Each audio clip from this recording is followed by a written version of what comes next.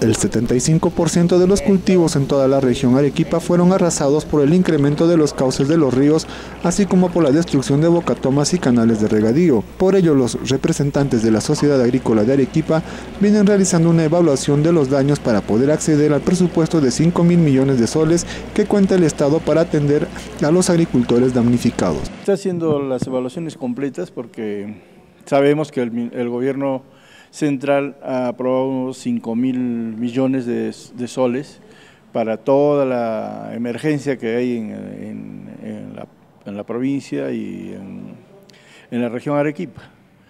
Eh, eh, esto se tiene que hacer mediante un, presentar un estudio a la región, también con, unos formatos de la mm, municipalidad provincial, quien a su vez también tiene que aprobar los expedientes y pasarlos a la región. La región los envía a Lima ya aprobados y, vienen los desembolsos que sean necesarios para cada región según los requerimientos.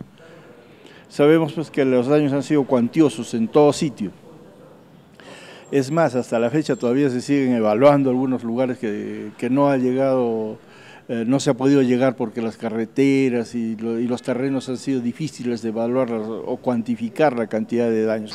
Sin embargo, se prevé que en los próximos días haya un desabastecimiento y encarecimiento de algunos productos agrícolas en los mercados de la ciudad, debido a que cultivos como la papa, cebolla y zanahoria se perdieron. Hay un 75% que me han dicho que han sido afectadas, de una manera o de otra, ¿no? En, algunos casos eh, terrenos que han sido inundados y en otros que los ha afectado los cortes de agua por las quiebras de las tomas. Han dejado de regar y se están malogrando los cultivos.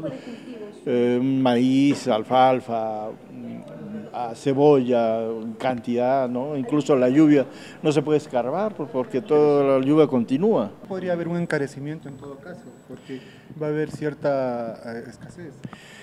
Posiblemente, no podría yo decir exactamente si va a haber escasez por cuanto no hemos cuantificado lo que tenemos en Campiña, o perdón, fuera de la Campiña, eh, sino en los valles, en los distritos de nuestra región. Habría que ver qué cantidad de productos hay, porque usted sabe que la mayoría de productos nosotros los mandamos a, la capital, lo vendemos en Lima, y, de repente sí tenemos para abastecer todavía Arequipa, ¿no? Pero, ¿Hay un producto de exportación que se haya visto afectado?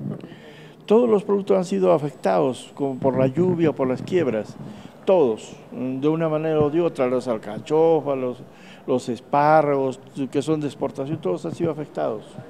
En Arequipa hay más de 50.000 hectáreas de cultivo que están en riesgo de perderse, por ello los alcaldes de las provincias solicitan el apoyo del gobierno regional con el envío de combustible y maquinaria pesada para poder reconstruir las defensas ribereñas en las diferentes cuencas de la región.